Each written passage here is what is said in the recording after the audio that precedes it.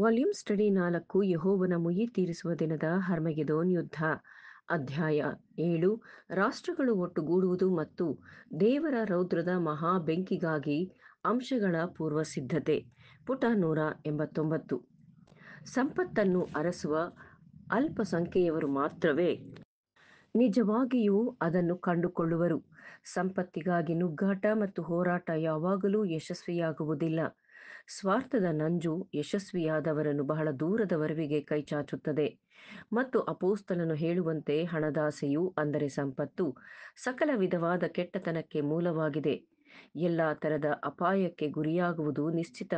ಕೆಲವರು ಅದಕ್ಕಾಗಿ ಆತುರಪಟ್ಟು ಅದರಿಂದ ಕ್ರಿಸ್ತ ನಂಬಿಕೆಯನ್ನು ಬಿಟ್ಟು ಅಲೆದಾಡಿ ಅನೇಕ ವೇದನೆಗಳಿಂದ ತಮ್ಮನ್ನು ತಿವಿದುಕೊಳ್ಳುತ್ತಾರೆ ಒಂದು ತಿಮೋತಿ ಆರನೇ ಅಧ್ಯಾಯ ಒಂಬತ್ತು ಮತ್ತು ಹತ್ತನೇ ವಚನ. ಬಹುಪಾಲು ಜನರು ಅನುಭವಹೀನರಾಗಿ ಅಪಾಯಕ್ಕೆ ತಮ್ಮನ್ನು ಒಡ್ಡಿ ನಿರಾಶೆಗಳನ್ನು ನಷ್ಟಗಳನ್ನು ಕಾಣುತ್ತಾರೆ. ಕೆಲವರು ಲೌಕಿಕವಾಗಿ ಬುದ್ಧಿವಂತರು ಮತ್ತು ಸೂಕ್ಷ್ಮ ಮತಿಗಳು ಕೆಲವು ಗಂಡಾಂತರಗಳನ್ನು ತೆಗೆದುಕೊಂಡು ಹೆಚ್ಚಾದ ಲಾಭವನ್ನು ಪಡೆಯುವರು. ಹೀಗಾಗಿ ಉದಾಹರಣೆಗೆ ದಕ್ಷಿಣ ಆಫ್ರಿಕಾದ ಚಿನ್ನದ ಮನಕ್ಷೋಭೆ. The South African gold fever.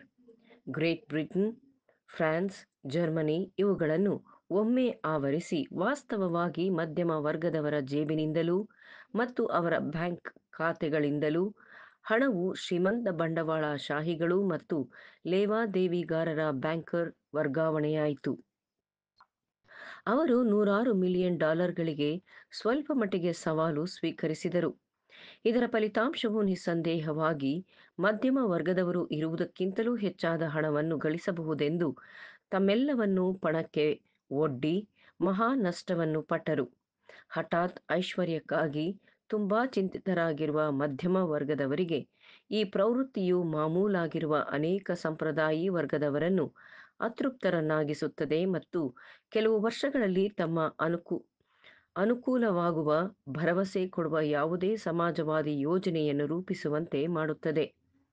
ಮುಂದಿನ ಶೀರ್ಷಿಕೆ, ಬಡತನದ ಹೆಚ್ಚಳ, ದ ಇನ್ಕ್ರೀಸ್ ಆಫ್ ಪಾವರ್ಟಿ.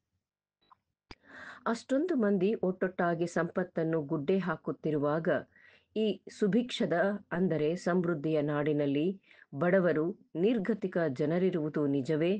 ಆರೋಗ್ಯವಂತರಾದ ಯಾವಾತನಾಗಲಿ ಅಥವಾ ಯಾವಾಕೆಯಾಗಲಿ ಆರಾಮದಾಯಕವಾಗಿ ಅಭಿವೃದ್ಧಿ ಹೊಂದದೇ ಇರುವುದು ಅವರ ಸ್ವಂತ ತಪ್ಪಲ್ಲವೇ?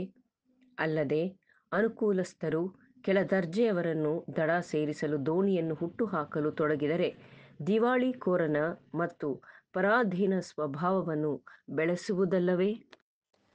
ಈ ವಿಷಯವನ್ನು ಕುರಿತು ಅನೇಕ ಶ್ರೀಮಂತರು ಅನೇಕ ಸಂದರ್ಭಗಳಲ್ಲಿ ಇಪ್ಪತ್ತೈದು ವರ್ಷಗಳ ಹಿಂದೆ ತಾವುಗಳೂ ಬಡವರಾಗಿದ್ದವರು ಹಾಗೂ ಅವರೆಲ್ಲರೂ ಆಗ ಯಾವುದೇ ಕೆಲಸವನ್ನು ಮಾಡಲು ಸಮರ್ಥರಾಗಿದ್ದರು ಹಾಗೂ ಮಾಡಲು ಬಹಳವಾಗಿ ಕೆಲಸಗಳಿದ್ದವು ಎಂಬುದನ್ನು ಜ್ಞಾಪಿಸಿಕೊಳ್ಳುತ್ತಾರೆ. ಅಲ್ಲಿಂದೀಚೆಗೆ ದೊಡ್ಡ ಬದಲಾವಣೆಗಳುಂಟಾಗಿವೆ ಎಂಬುದರ ಬಗ್ಗೆ ಅವರಿಗೆ ಅರಿವಿಲ್ಲ ಮತ್ತು ಅವರ ಸಂಪತ್ತು ಅದ್ಭುತವಾಗಿ ಸುಧಾರಿಸುವಾಗ ಜನಸಾಮಾನ್ಯರ ಪರಿಸ್ಥಿತಿಯು ಹದಗೆಟ್ಟಿದೆ. ಅದು ಸಹ ಕಳೆದ ಏಳು ವರ್ಷಗಳಲ್ಲಿ ಎಂಬುದನ್ ಎಂಬುದನ್ನರಿಯರು. ಯೂನಿಯನ್ಗಳು ಮುಂತಾದವುಗಳ ನಿರ್ವಹಣೆಯಿಂದಾಗಿ ಸಂಬಳವು ಈಗಿನ ಕಾಲದಲ್ಲಿ ಸಾಮಾನ್ಯವಾಗಿ ಉತ್ತಮವಾಗಿದೆ ಎಂಬುವುದು ನಿಜವೇ.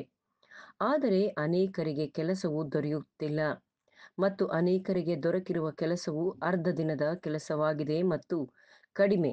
ಹಾಗಾಗಿ ನಿಷ್ಕೃಷ್ಟವಾದ ಅಂದರೆ ಕಠೋರ ಆರ್ಥಿಕ ಸ್ಥಿತಿಯಿಂದಾಗಿ ಒಂದು ಯೋಗ್ಯವಾದ ಮತ್ತು ನಿಷ್ಠೆಯುಳ್ಳ ಜೀವನವನ್ನು ನಡೆಸಲು ಕಷ್ಟ ಸಾಧ್ಯವಾಗಿದೆ ವಿಶೇಷ ಆರ್ಥಿಕ ಮುಗ್ಗಟ್ಟುಗಳು ಉಂಟಾದಾಗ ಸಾವಿರದ ಎಂಟುನೂರ ತೊಂಬತ್ಮೂರರಿಂದ ತೊಂಬತ್ತಾರರಲ್ಲಿ ಸಂಭವಿಸಿದಂತೆ ಅನೇಕರು ಕೆಲಸದಿಂದ ತೆಗೆದುಹಾಕಲ್ಪಟ್ಟು ತಮ್ಮ ಮಿತ್ರರ ಕರುಣೆಗೆ ಪಾತ್ರರಾಗುತ್ತಾರೆ. ಆ ಮಿತ್ರರೂ ಕೂಡ ಈ ಹೆಚ್ಚುವರಿ ಒತ್ತಡವನ್ನು ತಾಳಲು ಅವರೇ ಅಸಮರ್ಥರಾಗಿರುತ್ತಾರೆ. ಹಾಗೂ ಯಾರಿಗೆ ಸ್ನೇಹಿತರಿಲ್ಲವೋ ಅವರು ಸಾರ್ವಜನಿಕ ದಾನ ಧರ್ಮಕ್ಕೆ ಬಲವಂತವಾಗಿ ಒಗ್ಗಬೇಕಾಗುತ್ತದೆ. ಅಲ್ಲದೆ ಆ ಸಮಯಗಳಲ್ಲಿ ಸಾಕಷ್ಟು ಇರುವುದಿಲ್ಲ.